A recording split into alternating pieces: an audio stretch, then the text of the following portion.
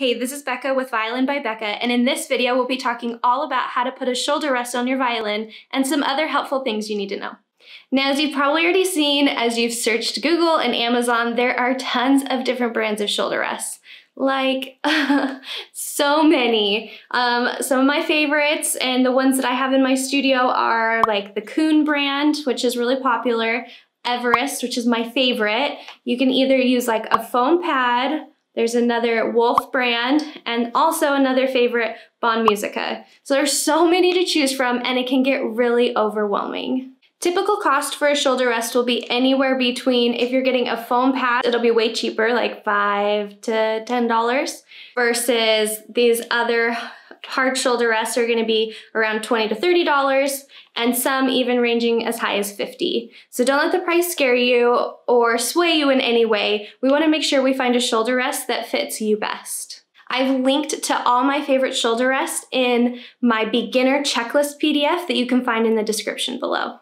Now, I get asked by a lot of my students if they have to use a shoulder rest or why it's important to use a shoulder rest. I have my violin here and I'll show you why. So there's two main reasons. The first is when we're playing our violin, we wanna make sure to have good technique, that our violin's parallel to the floor, and that we're holding it or can hold it without any hands. So if we put our violin up without a shoulder rest on, and I try to do it with no hands, it gets, my clothes are kind of slippery, and it's not staying on me. So the second reason why it's important to have a shoulder rest is there's this bone here, your uh, clavicle or collarbone. I get a lot of complaints from students where it's pinching or, or hitting on their violin and comfort is a huge reason why you want a shoulder rest. So it'll stay up and then feel really comfortable so you can play for an extended period of time. Now what makes a good shoulder rest is one, we want a shoulder rest that's gonna fit your body type and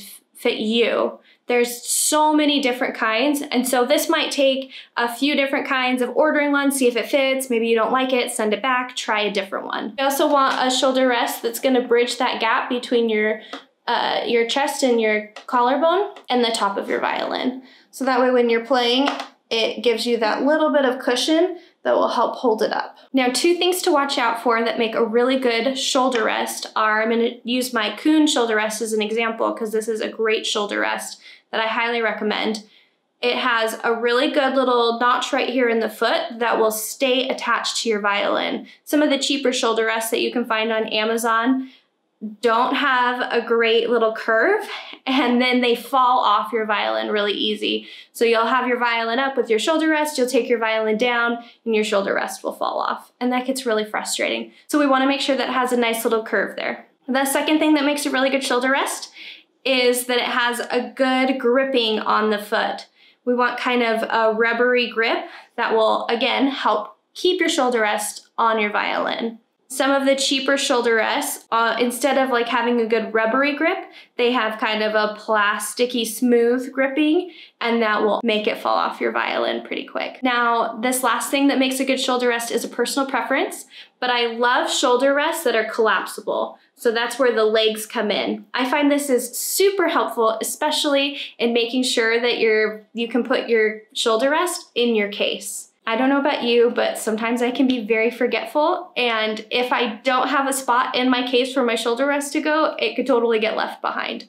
I've seen some students that have little pouches that they can attach to their case like it's like a clip-on, and then they'll put the shoulder rest in that if they don't have a collapsible, collapsible leg shoulder rest.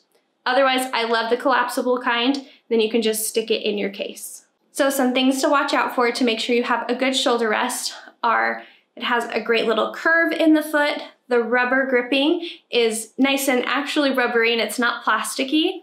And my personal favorite is that the feet collapse.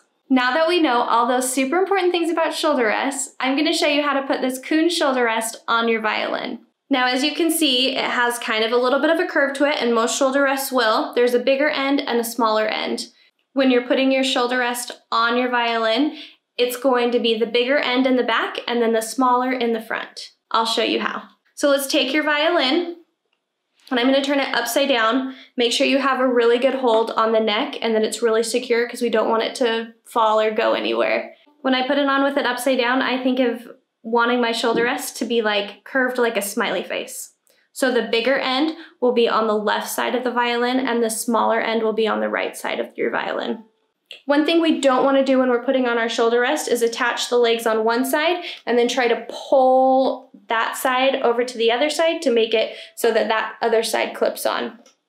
We want to start at the top, put one side's legs on, then we're going to turn the foot of the other side of the shoulder rest so it's at the top, and now we're going to slide it, slide it down.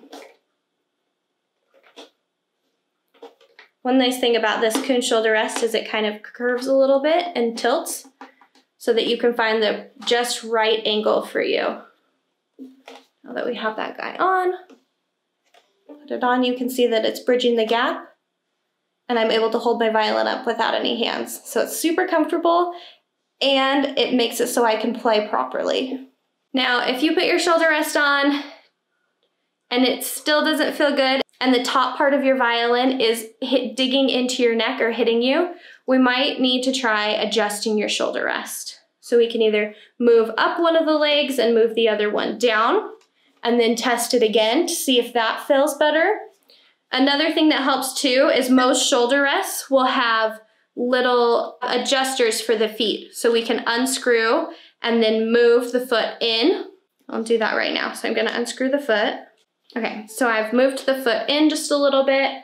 I'm going to attach the foot on the top, attach the other little foot, slide it down. So you can tell now that I've adjusted it, it's not going as far down. And when I put it on, it doesn't hit my collarbone as much. So try a brand of shoulder rest and see if you like it. If you're not sure, you can always move the leg in and out. Try doing different angles where one side's down farther, one side's up farther, until you find the angle that feels best on you and fits best. Now to take your shoulder rest off, we just wanna slide up one of the edges and then pull it off. We don't wanna pull it off away from our violin. We wanna slide off the side and then take it off. This will help those little ridges on your violin to stay nice and now you know how to put on a shoulder rest. So remember those things where we wanna find a really good shoulder rest for you that bridges that gap, that makes it super comfortable for you to play and that you can hold your violin up without any hands, that it stays parallel to the floor. We also want a good one that my personal favorite recommendation is that it collapses and it has a really good gripping so it stays on your violin. Last and most important, remember if you put it on your violin and it still is hitting your bone or pinching your neck a little bit, we wanna try to adjust those little screws in your shoulder rest to move it either in or out so we can find the perfect fit for your shoulder rest on your violin where it feels really comfortable. Let me know in the comments below what shoulder rest you ended up picking. If you have any other questions about shoulder rest, Remember, I've dropped a link to my favorite shoulder rests in my beginner checklist guide that you can find in the description below.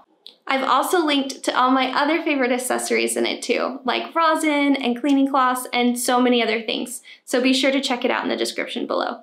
Thank you so much for watching. If you like this video, please give it a thumbs up and subscribe for more videos just like this. I'll see you in the next video.